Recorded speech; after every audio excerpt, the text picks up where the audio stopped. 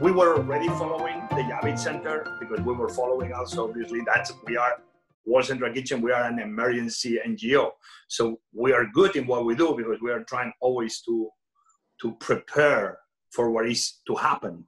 And for me, when when Jeff called me with that, I'm like, great, because if you didn't call me, I was calling you.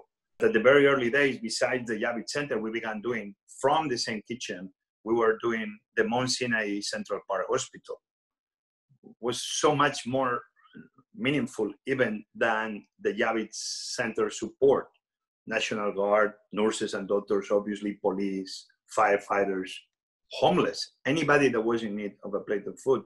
But out of the same initiative, we were feeding the hospital. We kept feeding at the beginning the Bellevue Hospital, even then became bigger. Uh, and we began doing more than 18 hospitals across with World Central Kitchen.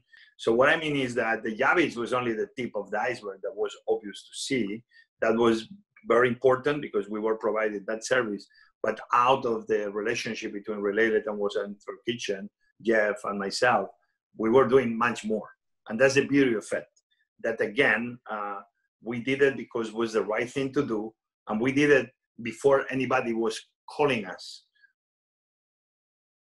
I need to make sure that World Central Kitchen keeps doing what we do best, which is uh, thinking uh, what nobody else is thinking about. I'm bringing good ideas to Congress so Congress can take care of the American citizens, uh, finding good partnerships. Uh, so if people, uh, Kitchen, uh, that's what we do because we have a lot of good people that support us. And sometimes one dollar at a time is how we do it. So if people go to wck.org, this is a great way to support us, trying to make sure that we bring light to those people in the Navajo Nation or in Newark or in Bronx or all across uh, America that these communities that they're going to still need organization like World Central Kitchen to to help uh, them to to make sure that food doesn't become the problem but part of the solution.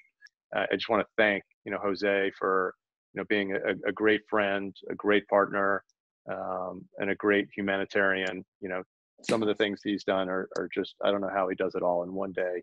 And uh, I've been a big supporter of World Central Kitchen, and I urge everyone else to do the same.